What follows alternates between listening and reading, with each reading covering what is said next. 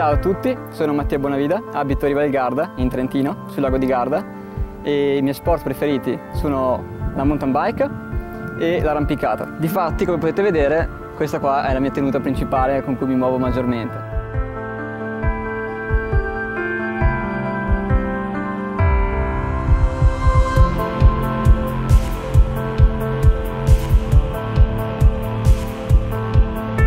Nascere a Riva mi ha permesso di diventare la persona che sono ora, una persona curiosa, sempre alla costante ricerca di qualcosa di nuovo e di innovativo.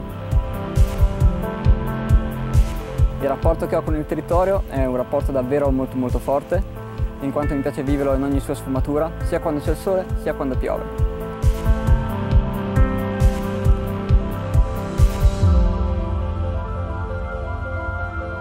La mia famiglia è composta da quattro persone, i miei genitori, molto importanti, e mio fratello Dennis, che seppur più piccolo mi ha sempre influenzato molto nelle decisioni che ho preso.